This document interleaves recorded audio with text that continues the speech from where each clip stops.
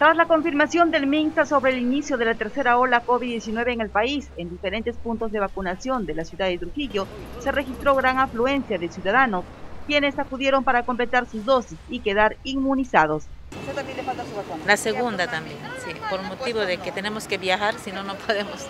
Tenemos que tener más cuidado ¿no? para evitar que esto siga nuevamente propagándose. Sí. A siete y media, sí. ¿Qué vacunita le falta? La Pfizer, la, la, la segunda. La segunda. En las filas se pudo apreciar no solo la presencia de jóvenes, sino también de adultos mayores vulnerables.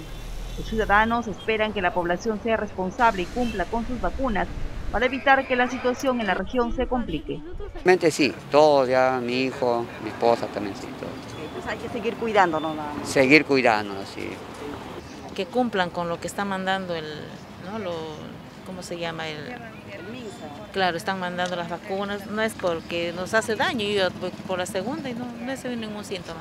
A unos sí les ha chocado, no sé por qué, pero gracias a Dios a nosotros no.